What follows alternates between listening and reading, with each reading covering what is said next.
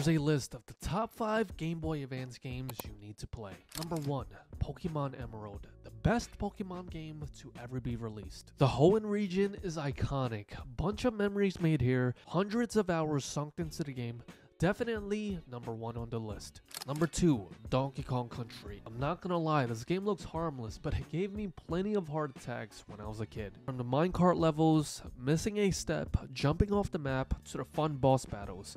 This game is full of moments that will keep you engaged at all times. And not to mention, it also has a dope soundtrack. Number 3, Mega Man Zero. It's not your typical Mega Man game. It's super fast paced and was honestly very difficult to beat. Game requires precise controls and timing to navigate through the levels and defeat the bosses. 10 out of 10, highly recommend. Number 4 on the list, Kirby the Amazing Mirror. In this game, my favorite feature was just calling up the homies and just clearing every level. They'll be in different parts of the game world and anytime you need them, you just click the L and R shoulder buttons. Very fun game, replayed it at least 3 times.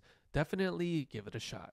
And number 5 on the list, we got Sonic Battle. Unlike traditional Sonic games that focuses on platforming, Sonic Battle takes a unique approach by combining elements of fighting and action. The cool thing about this game is that each character has their own story mode. There's a lot of content on this game, making it a must play for any Sonic fans. This is my top 5 list. Let me know yours. What was your favorite Game Boy Advance game? Leave a comment down below.